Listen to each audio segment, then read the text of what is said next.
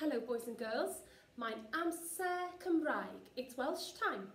Okay, so today what we're going to do is we're going to practice some of the names and some of the words of creatures that live in the sea that and we're going to do it in Welsh. Okay, so we've all been sharing the story, the rainbow fish. Now then, and here she, here she is here. O dan y môr. O dan y. You say, o dan y môr. Okay, da iawn. Right, let's have a little look, shall we? Let's have a look. Is it going to work? Oh, beth ydy hwn? Beth ydy hwn? What is this? Let's have a look. So, it says, môr farch. Have a little go. Môr farch. And you know that that's a little seahorse, isn't it? Môr farch. They're beautiful too, aren't they? Okay.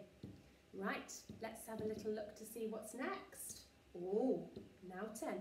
Beth ydy hwn? What is this? Beth ydy hwn? And it says, môr gath.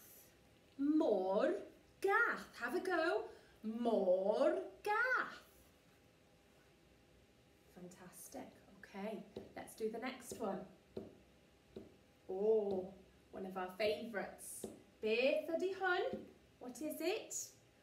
Octopus. Octopus. Let's see, is it working? Yes. Octopus. Octopus. A lovely pretty one too. A lovely octopus. Oh, beth ydy? What is it? Beth ydy hwn? Morfil. Morfil. Have a go. Morfil. Okay. Big blue whale. Morfil. Ah, beth ydy hwn? What is this? Dolphin. Have a go. Dolphin. It's a nice easy one, isn't it? And they're beautiful creatures too, aren't they? Ah, beth ydy hwn? What is this? Crwban y môr. Môr. Have a go. Crwban y môr. A turtle, isn't it? Oh, beth ydy hwn? What is this? Pysgodyn balloon. Pysgodyn balloon. Balloon fish. You have a go. Pysgodyn balloon. A balloon fish. And they're beautiful too. Quite different creatures, aren't they? now then, my favourites. and you know, boys and girls, I've been swimming lots with these. Okay, have, let's have a go at this one together. Slefren môr. Slefren môr. A jellyfish. Slefren môr. And do you notice that lots and lots of these have the word môr in? And that is the word for sea, isn't it? Okay, nice easy one. Now, this one here says squid. Squid. I think you just need to say it with a Welsh accent. Squid. Let's have look. Oh, what have we got next? Okay. Now, this one, the word is a little bit longer. I don't know if you can see it on the board.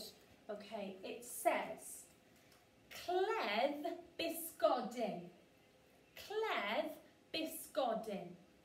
Now, sometimes in Welsh, the sounds change because, look, if we look at this part of the word here, bysgodyn, most of you will know that pysgodyn is the word for fish, but is it's mutated here, and that's why it has a b.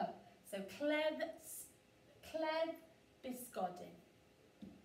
Cledd bysgodyn. Shall we see what's next? Oh. Okay. Seren fôr. Seren fôr. Now, seren is the word for star, and fôr as we've already talked about, is that is um, is more, but it's changed. That sound has changed. It's mutated. So seren for. Have a go. Seren for. Oh, beth ydy hwn? What's this one? Beth ydy hwn? Mm. Shark. You have to really emphasize that r. Shark. Have a go. Shark. That's a good one, isn't it? I like that sound. Oh, and I think this is our last one, boys and girls. So this word is cranc. Have a go. Cranc. And again, it's that r sound.